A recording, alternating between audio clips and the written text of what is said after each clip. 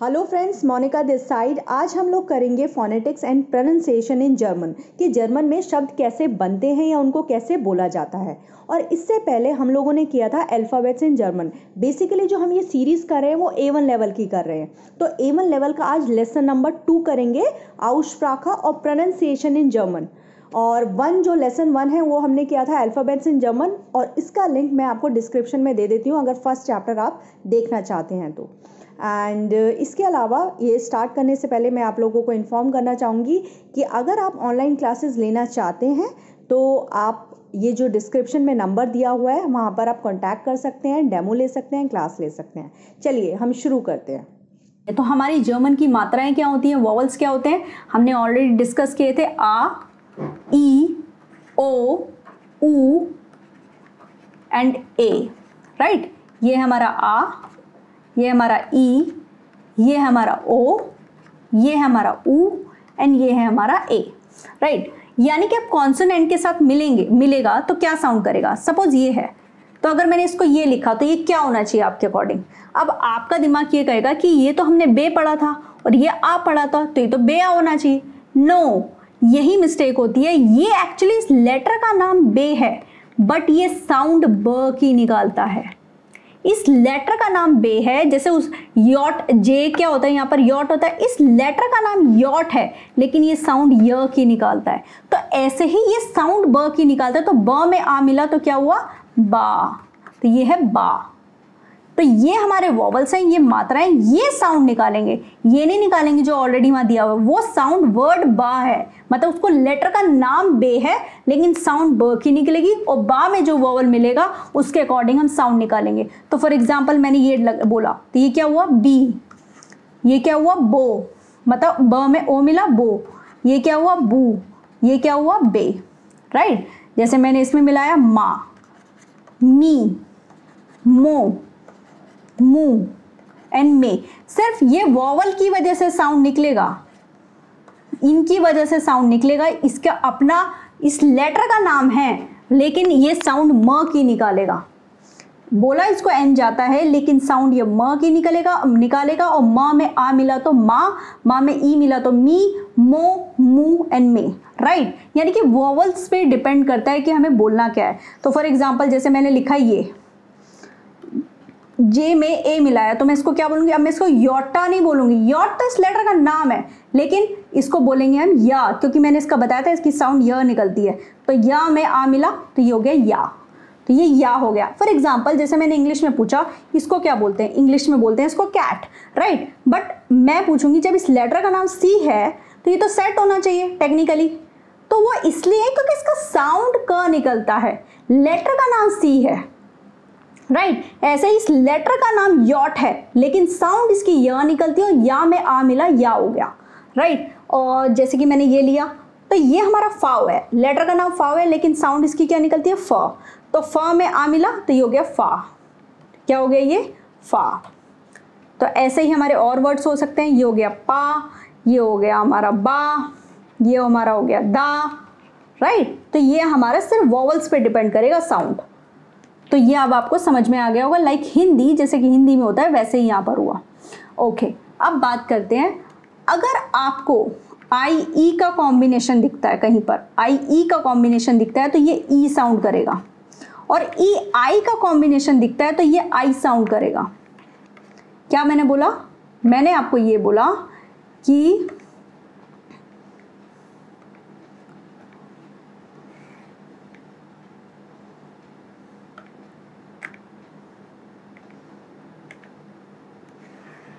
मैंने ये बोला, अगर आई ई e का आपको कॉम्बिनेशन मिलेगा तो ये ई e का साउंड करेगा और ई e आई का कॉम्बिनेशन मिलेगा तो ये आई साउंड करेगा। बस इसको रट लेना है कि इस कॉम्बिनेशन में क्या होगा। और अगर इसको और आसान तरीके से देखना है तो अगर देखो, पीछे वाले लेटर को हम क्या बोल रहे हैं? पीछे वाला जो लेटर है फॉर एग्ज़ाम्पल ये है, ये क्या है हमारा? ई इंग्लिश में ई बोलते हैं तो देखो इसको ई बोला जाता है। पीछे वाले लेटर को क्या बोला जाता है? आई देखो, इसको आई बोला जाता है। अदरवाइज़ जो मेरा पैटर्न है याद करने का, मैं क्या कर लेती हूँ कि इनके कॉम्बिनेशन को, इस कॉम्बिनेशन को हम ई पढ़ते हैं, इसके कॉम्बिनेशन को हम आई पढ़ते हैं। यहाँ पर इंग्लिश से उल्टा होता है। तो ये, इसके पैटर्न को हम ई पढ़ते हैं, इसको आई पढ़ते हैं। राइट अच्छा दूसरा में रूल क्या है? दूसरा रूल ये कहता है, अगर एस के साथ सपोज़ अगर एस के साथ कोई वॉवल मिलता है तो ये जा साउंड करता है। और जा के साथ कोई वॉवल मिलता है तो ये सा साउंड करता है। मतलब इसमें उल्टा होता है। अगर वॉवल का कॉम्बिनेशन मिलेगा तो ये उल्टा साउंड करेगा। अभी मैं एग्जांपल्स भी दूँगी तो आपको समझ में आ जाएगा। तो मैंने क्या बोला? अगर एस के साथ कोई वॉवल आता है, इनमें से कोई भी वॉवल आता है तो जा साउंड करेगा। और जा के साथ कोई भी वॉवल मिलता है तो क्या साउंड करेगा? सा साउंड करेगा। अब फॉर एग्ज़ाम्पल मैंने आपको दिया ये वर्ड तो अभी हमने ऊपर क्या सीखा है? हमने ऊपर सीखा है, इसके कॉम्बिनेशन को हम ई पढ़ते हैं। देखो, पीछे वाला वर्ड ई पढ़ते हैं तो और स के साथ वॉवल मिलता है तो हम जा पढ़ते हैं तो क्या हो गया ये? जी बन क्या हुआ? जी बन राइट ये हो गया जी बन अच्छा इसको क्या पढ़ेंगे हम? इसको क्या पढ़ेंगे? इसको पढ़ेंगे हम सेन ये देखो जेड के साथ वॉवल मिला। जेड के साथ वॉवल मिला तो सा होगा। और ये ए की मात्रा होती है तो ये क्या हो गया? सेन सुष्मिता सेन लाइक तो ऐसे हम पढ़ेंगे इसको। फिर और मैं एक एग्जांपल देती हूँ। जैसे ये है ई e आई के कॉम्बिनेशन को हम क्या बोलते हैं? आई और मैंने आपको बताया जेड के साथ वॉवल मिलता है तो सा पढ़ते हैं। तो ये क्या हो गया? साइट ये हो गया हमारा साइट ये हो गया हमारा, ये क्या हुआ? ई e आई के कॉम्बिनेशन आई तो क्या हुआ ये? काइट ये हो गया ई e आई का कॉम्बिनेशन आई तो ये हो गया हाइट अच्छा इसको क्या पढ़ेंगे? ये ई है ई का कॉम्बिनेशन आई ही है तो ये ई हो गया और ये फा है तो इसको क्या पढ़ेंगे फियर लास्ट में अगर आ रहे होते तो हम अर पढ़ते हैं उसको एर हमने सीखा भी था तो फियर राइट तो ये हमारा कॉम्बिनेशन है कि अगर आपको ये दोनों दिखे तो ये ई पड़ेगा और अगर आपको ये दिखे ई आई दिखे तो ये आई साउंड करेगा. और एस के साथ वॉवल दिखे तो जा साउंड करेगा और जा के साथ मतलब जेड के साथ कोई वॉवल दिखे तो ये सा साउंड करेगा. अगर मैं हिंदी में लिखूं तो ये नुक्ता वाला साउंड करेगा और ये सा साउंड करेगा। राइट ये आपको समझ में आ गया होगा। तीसरा पैटर्न है, देखो, ये जो सी एच है, ये जो सी एच है, ये कई जगह ख साउंड करता है और ये कई जगह श साउंड करता है। तो अब आपका क्वेश्चन उठता है कि कहाँ हमें खा बोलना है, कहाँ हमें श बोलना है।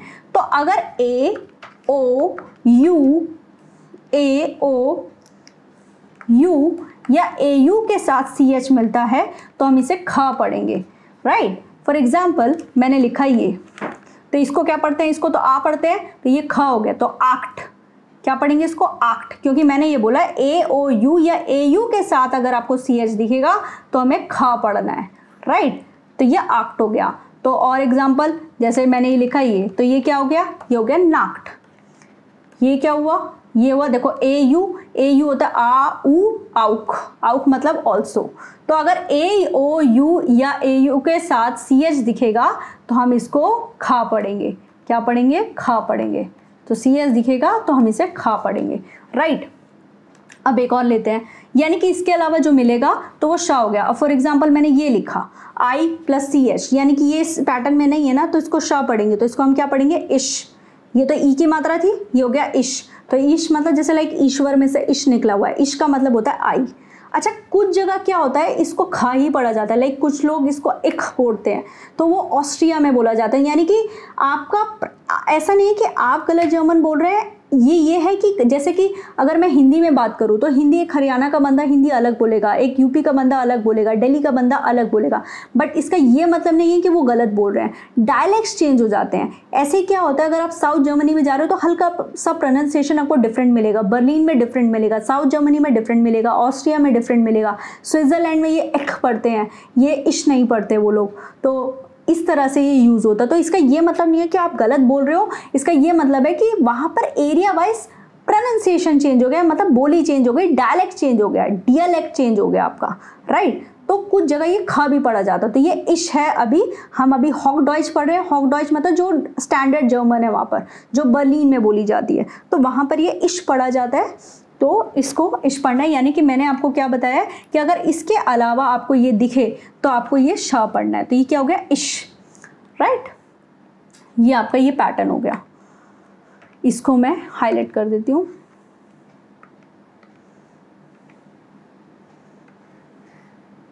यही हो गया। यानी कि सी एच को कई जगह खा पढ़ते हैं, कई जगह शाह पढ़ते हैं। नेक्स्ट पैटर्न नेक्स्ट ये कहता है कि अगर आपको कहीं ई यू का कॉम्बिनेशन मिले तो इसको ओ साउंड करेगा। तो ये ओ साउंड करेगा। And T S C H का कॉम्बिनेशन मिले तो ये च साउंड करेगा। मतलब ये पूरा अगर चार वर्ड लेटर आपको दिखे तो ये च साउंड करेगा। तो फॉर एग्ज़ाम्पल जैसे कि मैंने बोला ये तो आप इसको क्या पढ़ोगे? ये तो ओए है तो ना में ओए मिला तो क्या पढ़ोगे इसके? नॉय तो ये हो गया नॉइन नॉइन होता है नाइन और ऐसे ही नॉय नॉय मतलब न्यू अच्छा ये हो गया च, अब मैं इसका एक एग्ज़ाम्पल देती हूँ।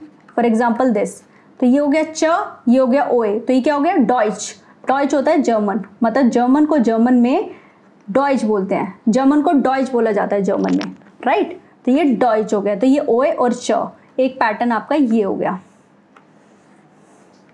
अच्छा एक लेटर और देती हूँ मैं। फॉर एग्ज़ाम्पल एक वर्ड और देती हूँ। जैसे मैंने बोला ये। अब इसमें तीनों ही डिफरेंट आ गए। तो ये इसके कॉम्बिनेशन को चा पढ़ते हैं इसको यू पढ़ते हैं और इसको स पढ़ते हैं डबल ऐसे तो इसको हम क्या पढ़ेंगे? च्यूस च्यूस लाइक like जैसे आ, हम आइसक्रीम को क्या करते हैं? आइसक्रीम को चूसते हैं ना इसको चूसना नहीं है इसको च्यूस करना है। च्यूस उमलाउट उठाइए च्यूस च्यूस मतलब बाय बाय इनफॉर्मल ये तो हम नेक्स्ट वीडियो में जब हम करेंगे ग्रीटिंग तो वो आपको क्लियर हो जाएगा। तो ये ऐसे हम साउंड निकालते हैं, यानी कि ये ही मेन पैटर्न्स हैं जो आपको फॉलो करने हैं। जर्मन बहुत आसान है। कहने का मतलब आसान इस वे में है कि जो बोलते हैं, वही लिखते हैं और वही वैसे ही बोला जाता है। तो इसमें कॉम्प्लिकेटेड नहीं है कि जो हमने पैटर्न सीख लिया है, जो हमने ये चीज़ें सीखी हैं, अगर इसी को हम फॉलो करते हुए बोलेंगे रीडिंग करेंगे तो आप आसानी से रीड कर पाएँगे। ये हिंदी की तरह है, यानी कि अगर जो मात्रा लगी है, वैसा ही साउंड करेगा ये। राइट तो ये आपकी प्रोनाउंसिएशन हो गई। उम्मीद करती हूँ आपको समझ में आया हुआ थैंक यू वेरी मच अगर आप जर्मन सीखना चाहते हैं तो आप यहाँ पर डिस्क्रिप्शन में आपको नंबर मिल जाएगा एंड वहाँ से आप कॉन्टैक्ट कर सकते हैं। Thank you very much please do like comment and share क्योंकि आप लोग अगर शेयर करते हैं कमेंट करते हैं तो एक मोटिवेशन uh, मिलता है कि मुझे और वीडियो बनानी चाहिए एंड मैं ट्राई करूँगी कि मैं video every Wednesday and Sunday डालूँ एंड ये ए वन का पैटर्न इस तरह से चलेगा। Thank you very much